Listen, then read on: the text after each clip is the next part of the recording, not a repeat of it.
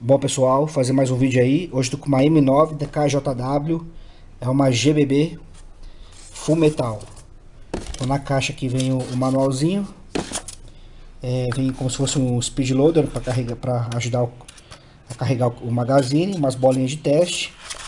E aqui tá a pistola. É a réplica da Beretta 9mm. Ela é toda de metal, tirando aqui o grip do cabo, que é um polímero. Ela não tem marcação nenhuma no slide né, ó, os dois lados aqui do ferrolho dela, marcação nenhuma, tem só o adesivo aqui que dá para tirar. E tem aqui no corpo numeração de série. É, ela é green gas ou propano. Então, então o carregador aqui, ó, o, o mag dela aqui em metal, coloco o gás aqui embaixo. Capacidade para umas 24, 25 bolinhas. A pistola aqui pesa cerca de 1 kg com o carregador. Ela é uma GBB, então ela é dupla ação, né? Ela é semiautomática. Ela para aberta quando tá sem bolinha, né? Ela tem o blowback. É...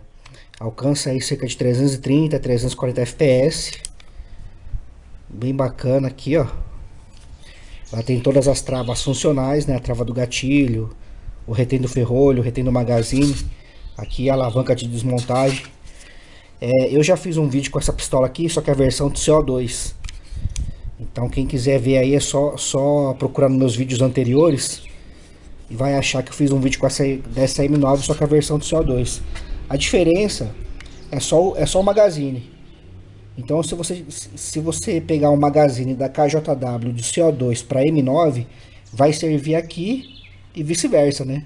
Na pistola da M9 versão CO2 se você pegar esse magazine aqui de green gas e colocar na pistola, vai funcionar do mesmo jeito.